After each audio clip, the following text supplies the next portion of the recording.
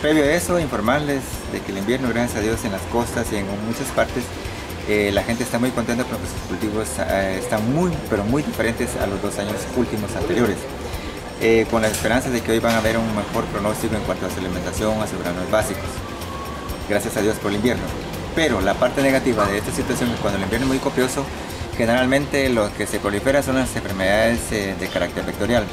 se proliferan mucho eh, los vectores como el, zancudo que transmite lo que es el dengue, la chikungunya y el zika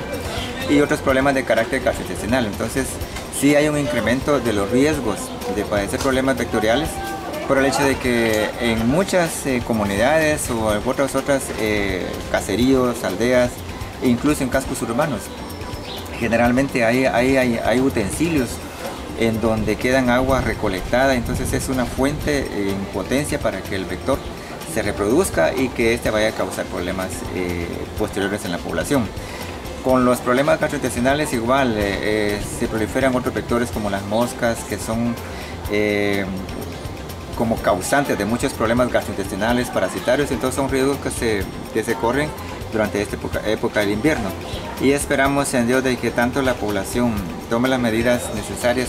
precautorias como desechar todos aquellos utensilios que en un momento pueden eh, ser parte de, poder eh, resguardar agua, sino que las, eh, desechen o les den el, tratamiento adecuado para que no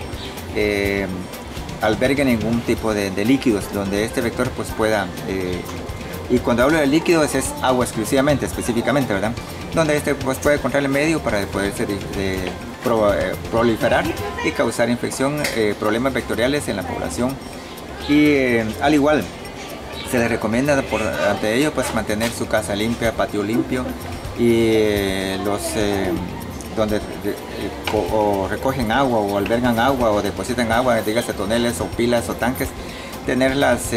permitir pues que los trabajadores de salud hagan su de, salud y exclusivamente de vectores hagan su trabajo, en donde ellos pues utilizarán, algunos medios para tratar de tener